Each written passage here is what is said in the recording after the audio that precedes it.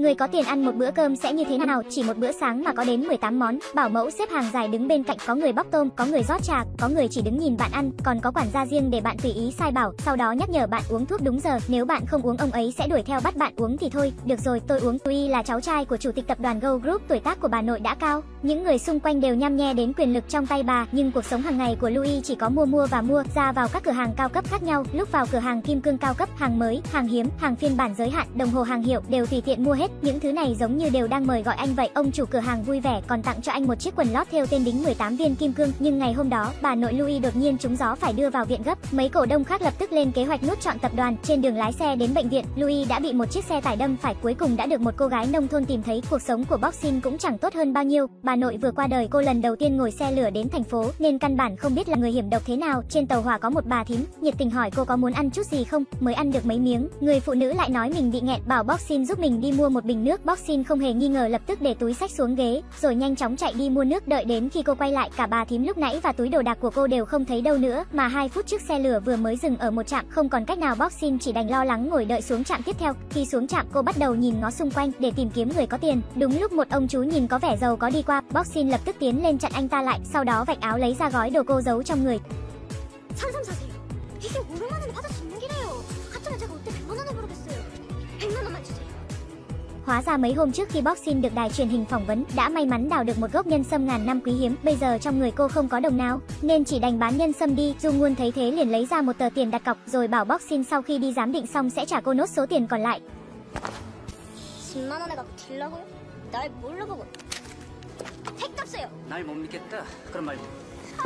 Nhưng Boxin không có điện thoại nên ông chú đã đưa cho cô số điện thoại của mình. Boxin đến thành phố là để tìm kiếm đứa em trai mất tích của mình. Khi Boxin đi đến chân cầu thang một tòa nhà, liền nhìn thấy Louis đang mặc áo của em trai cô nằm đó. Lúc này anh đã mất hết ký ức trước đây rồi. Mặt khác bà nội sau khi biết tin Louis gặp tai nạn qua đời, đau lòng đến mức bệnh nặng không dậy nổi, bà chỉ đành giao lại quyền quản lý công ty cho giám đốc Baek Sun Gu, mà tất cả những điều này đều là âm mưu của ông ta. Vừa tỉnh lại, cháu trai của tập đoàn Go Group đã phát hiện mình bị mất trí nhớ, một mình anh lưu lạc đầu đường xó chợ, còn bị một tên ăn mày đánh cho một trận. Boxin hỏi anh chiếc áo trên người lấy ở đâu ra, nhưng Louis hoàn toàn không biết gì cả. Boxin chán nản đi lung tung trên đường, Louis liền bắt đầu đi theo cô. Hai người nhìn thấy một chiếc ô tô nát bét đang bị cảnh sát cẩu đi, người và xe đều nát đến mức không nhìn rõ hình dáng nữa rồi. Nhưng Louis không biết rằng đây chính là xe của mình. Đã hai ngày anh không được ăn gì rồi, nhìn thấy một bà thím bán đồ ăn bên đường. Louis chẳng nói chẳng rằng cầm lấy một chiếc bánh ăn ngấu nghiến. Boxin không còn gì để nói với anh nữa rồi, không có tiền mà cũng đòi ăn. Cuối cùng cô chỉ đành giúp anh trả tiền bánh. Bây giờ Boxin đang làm nhân viên dọn vệ sinh ở một công ty lớn, mà công ty này cũng chính là của nhà Louis.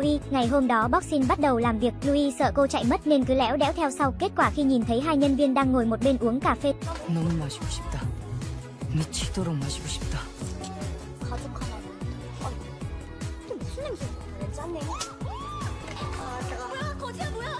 Cuối cùng Louis bị bảo vệ cứng rắn đuổi ra ngoài, Boxin mượn điện thoại của tổ trưởng để gọi cho ông chú, hỏi xem anh ta đã tìm người giám định nhân xâm chưa, nhưng cô đã gọi rất nhiều lần rồi đều không nhận được câu trả lời chắc chắn. Lúc này giám đốc Beck ngồi trên xe ô tô đi qua, liền nhìn thấy bóng lưng của Louis, cũng may ông ta chỉ cảm thấy quen mắt nên cũng không để ý nhiều. Boxin đưa Louis đến phòng tắm hơi công cộng, còn cô thì một mình đi làm. Khi Louis đang định nằm xuống đánh một giấc, lại vô tình phát hiện chỗ bên cạnh có tờ 50.000 won. Khi anh đang vui vẻ thì chị béo đi đến, cô ta khăng khăng nói rằng mình mất 100.000 won, hơn nữa còn chắc chắn là do Louis lấy trộm. Cũng may Boxin kịp thời chạy đến, mặc dù Louis chỉ nhặt được 50.000 won, nhưng chị béo nhất quyết không buông tha họ. Cuối cùng cô đành phải lấy tiền túi ra để trả cho cô ta. Buổi tối hai người cùng nhau đến cửa hàng tiện lợi ăn mì hộp. Khi Boxin suy nghĩ đột nhiên nhìn thấy một bóng dáng quen thuộc, người đó chính là bà thím trên tàu đã trộm đồ của cô. Boxin lập tức xông ra ngoài bắt lấy bà ta. Người phụ nữ nhận ra Boxin liền sợ hãi đẩy cô ra rồi bỏ chạy. Boxin phía sau vẫn đuổi theo không buông. Người phụ nữ nhanh chóng chạy lên một chiếc xe buýt, thấy xe đã đóng cửa chuẩn bị rời đi. Boxin không đuổi kịp liền trực tiếp nhảy lên bám vào đuôi xe. Đến khi xe buýt dừng lại ở trạm kế tiếp, người phụ nữ mới phát hiện có gì đó sai sai. Boxin trực tiếp sử dụng chiêu hổ vồ lao đến bắt sống bà ta. Hóa ra người phụ nữ này cũng là vì tìm cháu trai nên mới đến Seoul.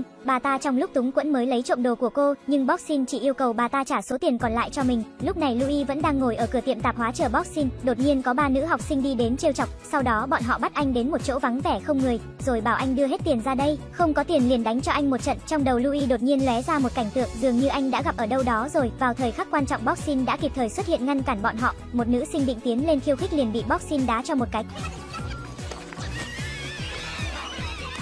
Nhưng cuối cùng thì địch mạnh ta yếu, tiền của Boxing cũng bị bọn họ lấy luôn rồi, bây giờ hai người không có một đồng nào cả. Lúc này Louis đột nhiên nhặt được một tờ tiền, Boxing một lần nữa gọi điện thoại cho Du Nguồn, nhưng lại không có ai nghe máy. Sáng sớm hôm sau công ty còn chưa bắt đầu làm việc, Boxing đã lén lút đưa Louis vào trong, sau đó để anh trốn vào nhà vệ sinh nam, còn mình thì đi làm việc. Một lúc sau, Du Nguồn mặc áo hoa hồng bước vào công ty, trong nhà vệ sinh anh ta nhìn thấy hành vi của Louis rất không bình thường, thế là liền hỏi anh làm việc ở bộ phận nào. Louis sợ bị đuổi ra liền điên cuồng bỏ chạy, cuối cùng cũng trốn được vào thang máy. Trùng hợp là con gái của giám đốc Beck Marie cũng đang ở đây. Từ nhỏ Marie và Louis đã quen biết nhau, nhìn thấy bóng dáng của người đàn ông rất quen thuộc liền muốn gọi anh lại, nhưng thang máy vừa mở Louis đã chạy thật xa rồi. Khi về nhà, Dung Nguồn phát hiện nhân sâm của Boxin đã bị bố mẹ mình bán mất rồi.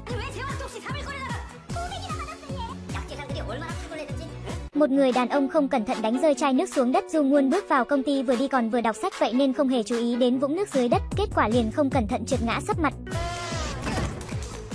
Anh ta tức giận gọi một nhân viên dọn dẹp bên cạnh đang định mắng cho đối phương một trận, không ngờ lại phát hiện hóa ra là người quen. Boxing vừa nhìn thấy là Du Nguồn liền phẫn nộ giữ chặt cổ anh, rồi uy hiếp bắt anh phải trả tiền cho mình. Kết quả anh ta chỉ đẩy nhẹ một cái Boxing liền ngất luôn tại chỗ, Du Nguồn sắp bị cô làm cho tức chết rồi, cuối cùng anh ta chỉ đành đưa cô đến bệnh viện, hóa ra Boxing bị suy dinh dưỡng bởi vì không ăn sáng nên mới ngất như thế. Lúc này tổ trưởng tổ quét dọn cũng đến thăm cô, thế là Du Nguồn liền đưa bà ấy đến nhà hàng để hỏi Boxing rốt cuộc là người như thế nào. Con bé đó rất trung thực. Làm việc cũng rất chăm chỉ cũng không có tiền bạc gì. Suốt ngày mượn điện thoại của tôi để gọi, còn bị người ta lừa mất tiền, không biết tên lừa đảo thất đức nào mới có thể làm thế với một cô gái. Ai nói là lừa đảo hả? Du Nguồn đi vào phòng bệnh, nhìn đôi giày đã cũ nát không ra hình dáng của Boxing. Anh liền đưa 5 triệu won tiền bán nhân sâm cho cô, sau đó quyết định cho cô đến làm việc ở bộ phận bán hàng của mình. Boxing sau khi có tiền, việc đầu tiên mà cô làm chính là cùng Louis đi chợ. Bọn họ không chỉ mua đồ dùng sinh hoạt cần thiết, mà còn mua thêm rất nhiều quần áo. Dưới sự thúc đẩy của Louis, Boxing lại mua một chiếc điện thoại mới. Khi về nhà, Boxing đang giặt đồ thì phát hiện quần lót của Louis có thêu tên, hơn nữa trên đó còn đính rất nhiều viên đá lấp lánh. Mặt khác khi về nhà, Marie đã nói chuyện mình nhìn thấy một người rất giống Louis cho bố nghe. Ông ta nhớ đến hôm trước cũng từng nhìn thấy bóng lưng quen thuộc, liền bắt đầu lo lắng bất an, nhưng rõ ràng Louis đã bị xe tải đâm chúng. hơn nữa chiếc xe cũng bốc cháy ngay lập tức ông ta chỉ có thể tự an ủi bản thân Louis đã chết rồi. Ngày hôm sau Louis đến mấy cửa hàng trong trung tâm thương mại để hỏi về nhãn hiệu chiếc quần lót của mình, nhưng khi vạch quần ra, nhân viên lại tưởng rằng anh là biến thái đuổi đi. Lúc này vợ của giám đốc Beck đang đi mua sắm nhìn thấy Louis dựa vào kính liền bị dọa sợ hãi, lẽ nào người bà ta vừa nhìn thấy thật sự là Louis sao? Tập phim hôm nay đến đây là hết rồi. Nếu mọi người cảm thấy hứng thú thì hãy comment để S làm tập tiếp theo nhé. Cảm ơn mọi người đã theo dõi. Goodbye mọi người, tôi đi nấu cơm đây.